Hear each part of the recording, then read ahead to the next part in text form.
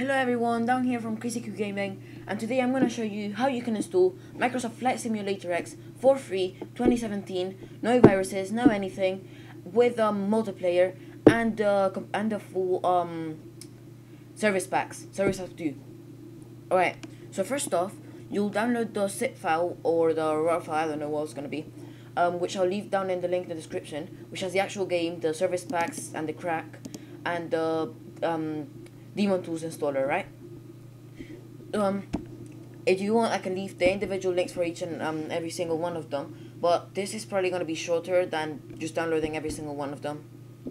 Okay, once it's downloaded, you want to click on Daemon Tools, um, Light Installer, yeah, DT Lite Installer.exe, right? Free license with ads. Just wait for that to load. It only takes a couple seconds, depending on your internet connection, actually. Alright, so it's done. Press install. And um, please don't um, forget to leave a like if you do like it and it does work for you. I will try to answer every question you leave down in the comments below. And I will make sure to try and help you out as best as I can. Let's just uh, wait for it. There we are. English, next. Or you, you can just choose your language whatever language you want. I'm just gonna put English because like, oh yeah, free license. Next, then you want to, uh, yeah, you you can take off that one if you want. I've I don't really care. Next, make sure you don't take this on because like, it's like bullshit. Okay, program files, daemon tools, or just choose your location. Wait for the download. It shouldn't take long. Updating virtual devices, it might, um, what happened to me, because like I've uninstalled it and installed it a whole bunch of times, it will pop up, um, do you want to install this from Demons Do Lights, um, just press yes, and, um, yeah, then just press run, and finish. Okay, uh, close that. Now, what you want to do is you want to put this to the side, or drag it to the side, whatever you want. Put this to the other side. Uh, can't, I can only put this in a corner. Oh, okay. Now you want to Microsoft Flight Simulator X DVD one, and then uh, double click this. Okay, mounting image. As you can see, the image is that is mounted here. Remember that it's D, the D drive. You need to remember that. You just need to remember that. Just make sure it's D. Alright. Scroll down, right click, properties, compatibility, then run this program in compatibility mode for Windows Vista Service Pack 2 if you're in Windows 10. It should work on Windows um, 7 too. Like you don't need to like press this, but if you're on Windows 7, um, I think you can leave it. Okay, press apply. Okay. Then you want to run it. Yes.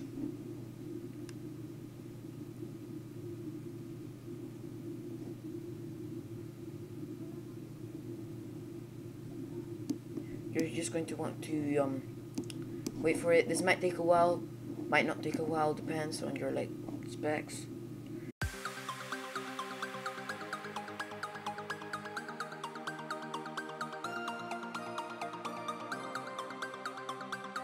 Now, once it's loaded, you'll go like this, just you'll have this black screen over here. Uh, you want to just don't worry about that. Oh well, no, no. Okay, go, um, just press install. Don't click what I did. It's gonna say it's gonna set up the 2005 thing. And now this is gonna pop up. This is like the main window where it's actually installing. Um, yeah, and I'll just see you see you guys in a bit once it's done.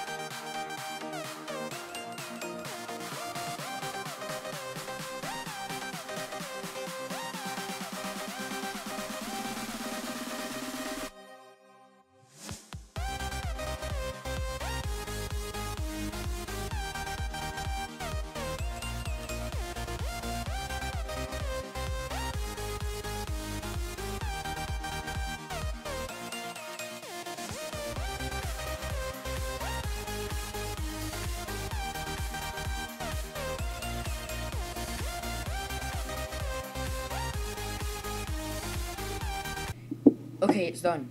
So by now, you want to press, uh, okay, it's not gonna do anything.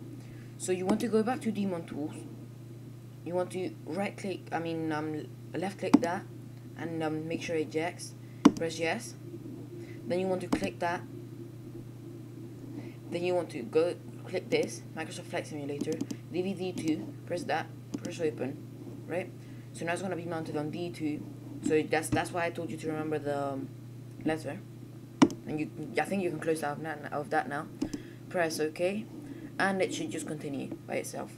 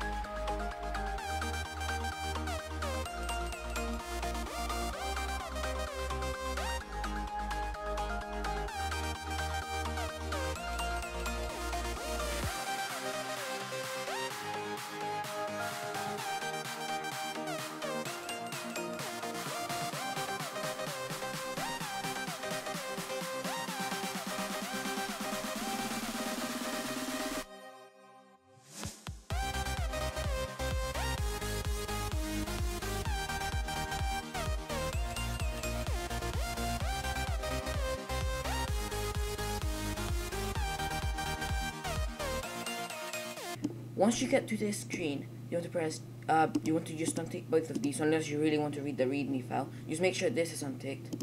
Press finish. Okay. Uh, the readme file. Um, okay. Now, um, you're going to open and back up the folder, the tutorial folder. Press SPs.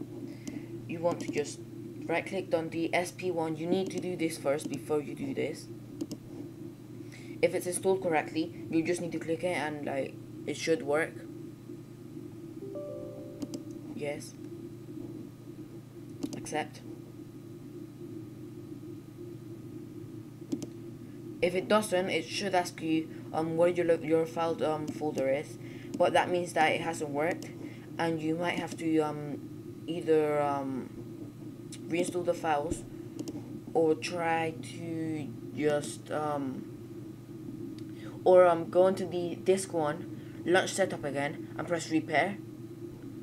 So yeah, just whatever you do, whatever you do, just don't go to local disk, um, program um files thingy, 80 um times 86, 32 bit. Microsoft Games, Microsoft um, Flight Simulator, and if you don't, if you want to uninstall it, you just don't right click and delete it. Do never, ever, ever, ever, ever do that. I found out the hard way. Okay, so you just just wait for that to be finished and yeah. It will get to this screen where it says you have successfully installed Flight Simulator X um, Service Pack 1. Alright, you press close. Now you go back to the um, folder in which you were in. Then you press um, SPs again. Then you want to install SP2. The .msi1 just gonna wait for it. Install then it should just go ahead and do it. Just press yes. Okay it will say setup successfully installed Microsoft Flight Simulator X Service Pack 2 so now you just want to press um, this one then control that one. Press control and then um, you want to um, click that one then control select that one and that one. Then I'm gonna want to copy. Then go over to the um, local disk C, program files um, 86, Microsoft Games, Microsoft Flight Simulator, then just paste, just paste it in there, replace the files in the destination, do this for all current items and continue. You will need administrator rights, if you do not have them, it just won't work. Alright, now it's done, you just want to close that out, then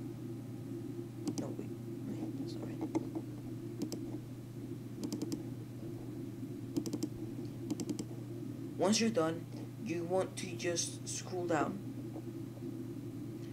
and look for something called fsx.exe. You want you're going to want to send to desktop and create the shortcut. I'll use for a shortcut because you are going to need it.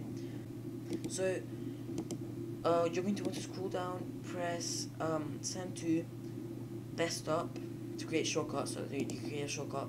But first, you're going to need to right click, properties, then compatibility, then press run this program in compatibility mode for Windows Vista Server Pack 2. Alright, just press that, press apply, press OK. I mean, it might work without it, but I found out the hard way that it might not. Double click on that, press yes. Now you're just going to have to wait, and wait, wait.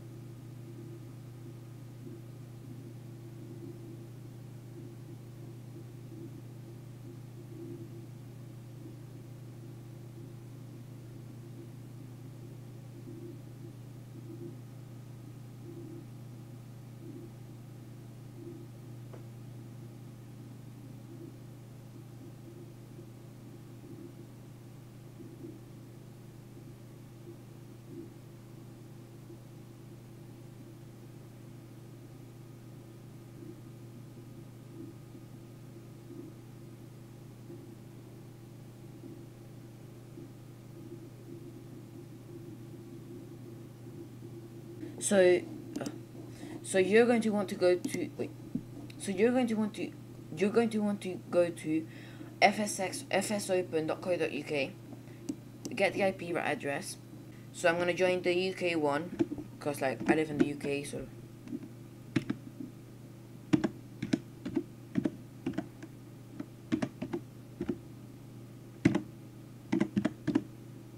Right.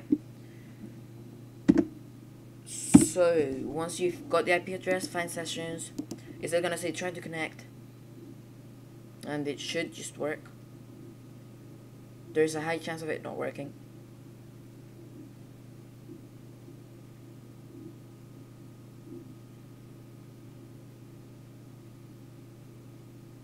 Yeah, and it's gonna say just um, it's just gonna change randomly, and it's going to change the um, thing And here you can choose wherever you want to be a pilot. You can just type in some rubbish there, oh that's optional. Change your airplane. I'm gonna go be the I don't know, bombardier. Alright, yeah, yeah, ATC name. Alright, now I, I'm just gonna choose where, where I want to spawn. I'm just gonna I'll say Heathrow, because like that's popular. Then just okay. And okay. Now you're just going to want to press join session. And I don't know if you can see this.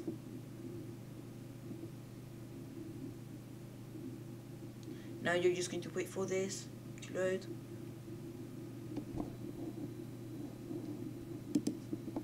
It shouldn't take too long. Now I'm going to teach you how to put in 1080p and you are done. Or your resolution. It really doesn't take that much um, resources. You'll see why in a second.